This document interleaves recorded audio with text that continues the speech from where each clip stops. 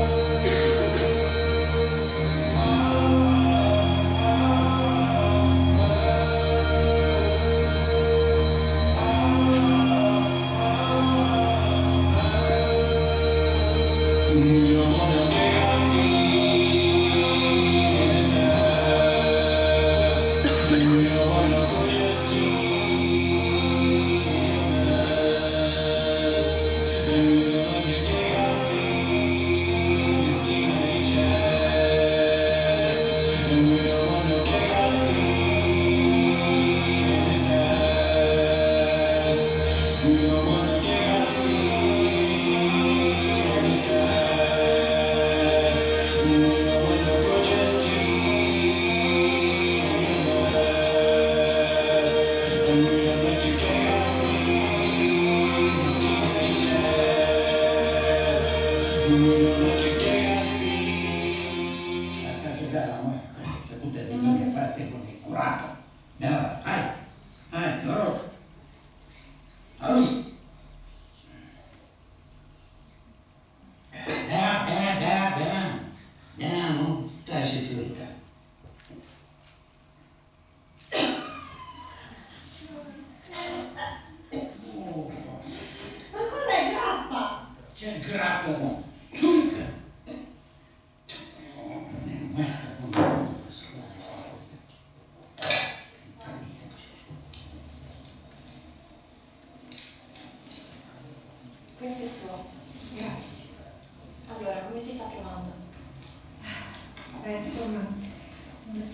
dei miei sogni.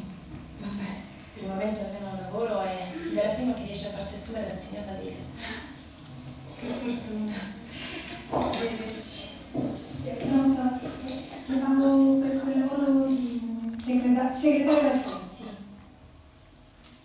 Ah. Ho cap- ho capito. Sì, grazie. Cioè, senti, ma cosa fa?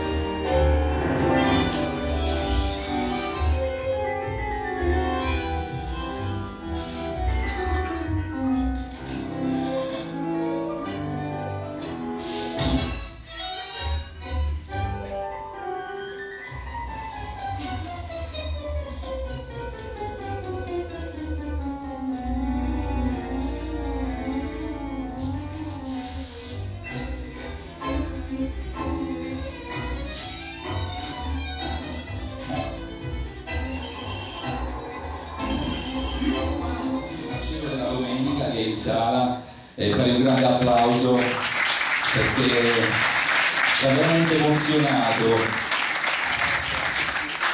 Io, io conosco Ernest, l'ho appena conosciuto, però conosco Antonio Sinisi, eh, Michele Sinisi che è il ragazzo che purtroppo vede il cielo in una maniera diversa quella domenica, eh, del Teatro Minimo di Foggia, se non sbaglio. Sono di Andria allora.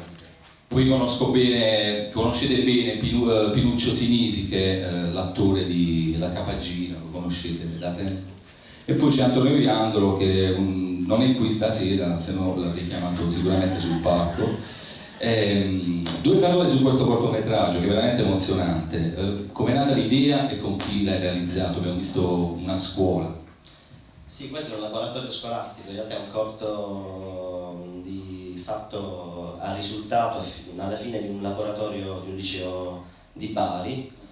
Eh, con i ragazzi abbiamo cercato di di, di far capire come si produce un, un audiovisivo in genere, e abbiamo pensato alla fiction, quindi la scrittura è fatta dai ragazzi, seguita da, da un tutor che è Santeramo di Teatro Minimo. Quindi poi abbiamo prodotto insieme ragazzi eh, all'INAI di Bari e al liceo Scacchi il, il lavoro finale, insomma, con, con i ragazzi stagisti sul set che seguivano i vari reparti della fotografia, la scenografia e tutto, i costumi. Quindi il tema diciamo, è partito dai ragazzi. È partito dalla scuola. Grandissima ragazzi. sensibilità, voglio dire, dai ragazzi. Sì, eh, Cioè, li vediamo sempre col cellulare, invece alla fine... Vabbè, questo, è, questo è un laboratorio di sei anni fa, io lo faccio da dieci anni, eh, sei anni fa era diverso, comunque, cioè sono passati solo sei anni ma è diverso, è molto, molto diverso. Senti, ma i ragazzi cioè, ehm, hanno proprio partecipato, erano sul set con voi? Sì, sì, sì, erano proprio erano 25 ragazzi sul set, quindi ovviamente un po' un delirio a tenerli tutti a bada, perché c'era un cantiere, c'era un- un'assicurazione, c'erano delle, delle cose di sicurezza da rispettare, però erano tutti sul set insieme ai tecnici. Quanto è durata la realizzazione? Quattro giorni di set e tre mesi con i ragazzi a scrivere, insomma. Quindi un essere in un laboratorio abbastanza complesso. Ci ha, ci ha creduto molto anche l'INAIL di Bari che ci ha finanziato il corto insieme al, al liceo. Beh, che dire, ehm, la sensibilità di questi ragazzi cioè, mi, dire, mi, mi conforta. eh, eh, Per loro è un'esperienza diversa da chi lo fa perché insomma lo deve fare. Loro inizialmente seguono i corsi perché purtroppo è cambiata anche dal punto di vista della- del credito scolastico. Secondo me ha complicato un po' le cose perché adesso i ragazzi vengono al, al corso perché devono prendersi il credito. 6-7 anni fa no, venivano perché volevano venire a seguire il corso e questa è la differenza. Allora, intanto se qualcuno vuole fare una domanda, qualche domanda, qualcuno vuole fare un piccolo intervento, cioè, eh, lo può fare tranquillamente, giusto? Ernest? Non lo può fare. Jenny, tu vuoi dire qualcosa? Eh, se qualcuno ha qualche domanda la può fare velocemente, senza problemi. Ehm, volevo chiederti, ma eh, la persona che si vedeva da giù, dal basso, era Michele Sinisi o era una controfigura? No, eh, mm, nelle parti di, nelle inquadrature un po' più strette era Michele Sinisi, che era messo in sicurezza con un piano diciamo di 6 metri in sicurezza e poi invece nei totali c'erano degli stand professionisti che vestiti abiti di scena. Senti, tu adesso stai facendo qualcosa, stai girando qualcos'altro, hai fatto qualcos'altro dopo questo corto? Io, fa- io, ehm, dopo questo corto ho avuto due belle esperienze fuori da- dall'Italia, sono stato in Malawi per un documentario e poi in Brasile per un altro documentario. Quindi di fiction in realtà dopo questo corto no, non, non ne più fatte e di solito non frequento neanche i festival e grazie anche per la qualità della proiezione perché di solito se cinque anni fa non mi ricordavo fossero così. Senti, e Malawi perché? Perché? Cosa cosa girato? Era un documentario, io facevo il video operatore, non ero il regista, ero il video operatore, di mm, il fine di, cioè praticamente dopo tre anni di una- un, lavoro, un lavoro di una ONG in Malawi abbiamo intervistato tutti, ehm, tutti gli operatori dell'ONG e, e tutti i personaggi che hanno goduto dell'ONG, insomma, dei servizi dell'ONG. Quindi un'esperienza forte. Eh, cosa ne pensi del, del, livello dei cortometraggi? Cioè, io ne ho visti di festival, ne ho visti tantissimi, penso anche tu. Cosa ne pensi di questi cortometraggi un po' stranieri, però eh, molto, molto, molto forti? In generale della serata dei corti? No, no, la, la qualità dei corti mi sembrava meravigliosa, cioè ottima. Eh, nei festival che ho frequentato io danno, danno conferma che eh, la produzione negli ultimi dieci anni di cortometraggi stranieri è sicuramente superiore a quella delle produzioni italiane, però ci sono una serie di esempi molto buoni anche italiani. Tenete presente che uh, dalla Germania ci arrivano pacchi, giusto Alfredo, pacchi di 10-20 corti, li, manda, li mandano praticamente le amministrazioni regionali e provinciali, cioè loro spingono tantissimo. Uh, anche dalla Spagna, ci arrivano proprio pacchi interi dalla Catalogna, proprio regione della Catalogna o da, dai Paesi Baschi, cioè loro proprio mandano, lo fanno loro questo, questo, lavoro, non lo fanno i registi con i loro soldi o con i loro drammi quotidiani. Quindi eh, noi siamo contenti per questo, però scontenti che ancora in Italia diciamo, il cinema è un po' così. Però le idee, le idee ci sono. Io, mh, visto che non ci sono domande, qualcuno vada a fare una domanda al volo? Io concederei Hermes di Salvia, però mi manca solo una cosa da, da dire. Invitare Antonio Viandolo, che è l'attore di questo cortometraggio, e che mi ha pregato di non invitare, io lo faccio apposta. No, un saluto al volo, Antonio, dai, un saluto al volo, dai. Tanto l'avete riconosciuto, era quello che di 100 passi. Dai, eh, che cosa dici di questa serata tua? Per la prima volta penso, no per la prima volta, a teatro, che hai fatto, Antonio ha girato parecchi cortometraggi, ha vinto parecchi premi, eh, con il Provino soprattutto, è un, un cortometraggio delirante che ha vinto tantissimi premi. Com'è stata la tua esperienza stasera con la candelina?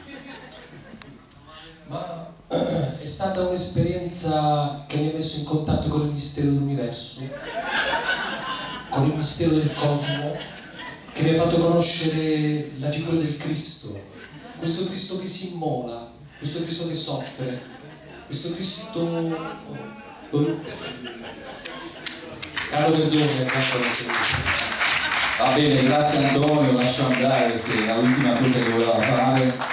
Bene, spedire, grazie mille, grazie mille, ci hai regalato veramente un'emozione grandissima. Io non ho altro da aggiungere perché diciamo lo spirito di Cortodrome è far parlare i film, cioè eh, dilungarsi su commentare film, parlare difficilissimo, come il nostro slogan era eh, eravamo contro l'obliterazione dell'io pensante che abbiamo ascoltato a un festival, noi siamo contro questo tipo di, di situazioni. Quindi io vi congedo, se non avete altro, non so, non avete nulla da dire, vi congedo, eh, non avete detto niente, vabbè, manco il genio. E parte la musica. Grazie mille a tutti, ciao!